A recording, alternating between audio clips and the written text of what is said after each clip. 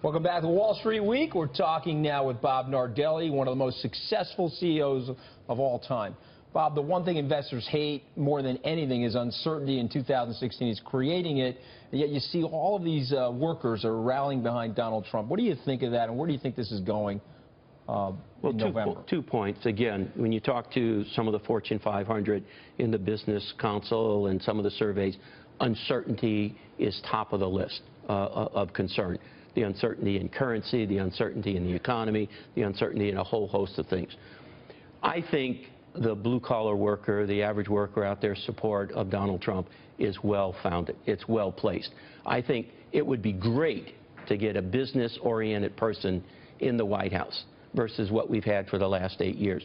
We need, you, you think about this administration, Anthony, has shut down 400 billion dollars of potential merger and acquisition that would help grow companies, create productivity, streamline to, to, the consumer, bring better products faster, sooner, more affordable. Well, I think that's a big think point. Done that, though? I think our viewers want to know why do you think that they have done that? They've collapsed on business in that way. I, I just don't think there's a bias towards business.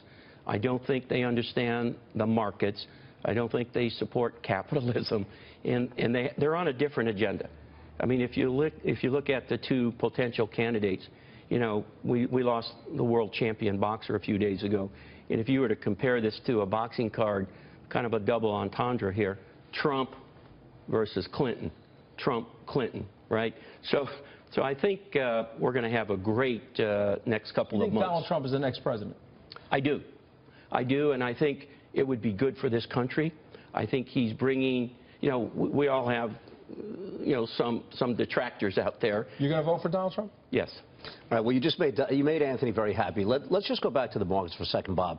Anthony points He's out. Voting for him too, by the way. Anthony, Anthony points out about the uncertainty, uh, the, the, slow economy, the uncertainty about the election, and yet the S&P is flirting with its you know all-time high again. Yes. We obviously know that's all about the Fed. The Fed is going to meet next week. Uh, the markets have rallied in the last several weeks because the anticipation now is the economy is so slow, the Fed's going to sit on their hands again. Yep.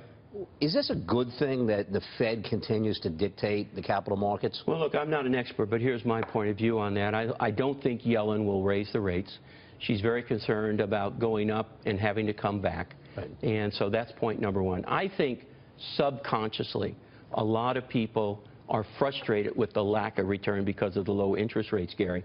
And therefore, subconsciously, they are taking more risk by going into the equities market. Well, they're being forced into the markets. Because there's no alternative. Yeah. Now, you see a lot of people going into munis recently. You, you've read about some of that because, again, not as high a return, but at least some more security, some more certainty about it and, and it's better than keeping it in cash. But I think people are going to the equities market because let's, let's they have stay, no let's choice. Stay on, let's stay on rates for a second. I mean, the, the amount of negative interest rates that are out there, the amount of paper that is out around the world now with negative interest rates, Am I naive, or, or, or, this worries me? This is very, very scary, the amount of money that's being put into negative interest rates where there'll be no return. What, what, what is this going to look like five years from now? Uh, it, it is scary, you know, and you'd hate to see that happen here in the U.S. And we see it around the globe, right. Gary, and, and it's very concerning and, and, and creates a lot of anxiety that you put your money in there and you have to pay right. to put your money into an account. I mean, it's it's unconscionable. But, but, but, the reason for it is really slow growth, and so yes. so that so if you got the economy in the United States growing at four percent, it's 23 percent of the global economy. It would lift the tide of the rest of the market. And so so what steps would you like to see? It's day one. Trump administration, what yes. would be the first 100 days that you'd like to see well, listen, to get the economy growing? I, I think some of his platform points are spot on. Let's talk about reform in corporate tax so that we now are competing. I, I know when I was running GE Power Systems and I had to compete against uh, uh, Siemens or ABB, you know, I knew I was at a disadvantage. So I had to bring some innovation and, and competition to the You're marketplace. At a disadvantage because of why? Because of corporate tax. Corporate tax. Because of corporate tax. We have the highest corporate tax rate in the world, Gary. Yeah. So I think Trump's platform about tax, corporate tax reform for businesses is very positive. I think we'll see a repatriation. I think what we're doing on, on policy and regulation, we'll see a repatriation of jobs back to this country. We killed one of the greatest growth areas we had and that is energy independence by not allowing for export of oil and natural gas. Now, we the let- naysayers are saying climate change is the reason why they've done that. What's your response to that?